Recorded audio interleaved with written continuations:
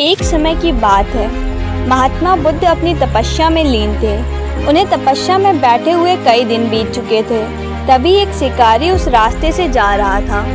उस शिकारी ने महात्मा बुद्ध को पहचान लिया। शिकारी ने महात्मा बुद्ध के बारे में बहुत बड़ाई सुनी थी। किंतु वह महात्मा बुद्ध की बड़ाई से संतुष्ट नहीं था। इसीलिए उसने महात्मा बुद्ध की परीक्षा लेने के लिए सोचा।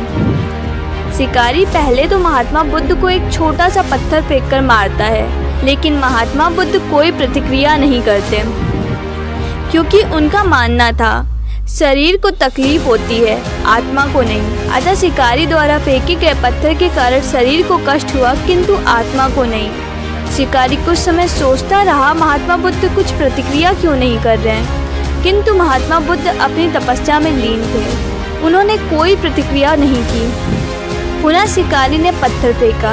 वह पत्थर महात्मा बुद्ध की आँखों के ऊपर लगा और उस जगह से खून बहने लगा। महात्मा बुद्ध को आभास हुआ कि उनके शरीर से रक्त बह रहा है, किंतु वह फिर भी अपनी तपस्या से नहीं उठे। शिकारी को गुस्सा आ गया तो उसने फिर से एक पत्थर महात्मा बुद्ध की ओर फेंका। महात्मा बुद्ध के शरीर से अब खून अधिक बहने लगा था। इतनी पीड़ा महसूस कर महात्मा बुद्ध की आँखों में आँसू निकलने लगे। शिकारी ने महात्मा बुद्ध के पास जाकर पूछा, आपको जब मैंने पत्थर मारा तो आपने कोई प्रतिक्रिया क्यों नहीं की? महात्मा बुद्ध ने बड़े ही सरलता के साथ कहा, क्योंकि इससे मेरे शरीर को कष्ट हुआ, मेरे मस्तिष्क को नहीं। शिकारी अचंभित रह गया। उसने पूछा, फिर आपके आँखों से आँसू क्यों बह रहे हैं?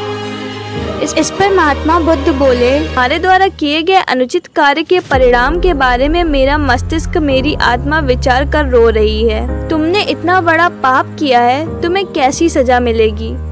बुद्ध की बातों को सुनकर शिकारी महात्मा बुद्ध के चरणों में नतमस्तक हुआ और उसने क्षमा याचना की। महात्मा बुद्ध क्षमाशील व्यक्ति थे। उन्होंने तुरंत शिकारी को क्षमा कर दिया और अपना आशीर्वाद दिया।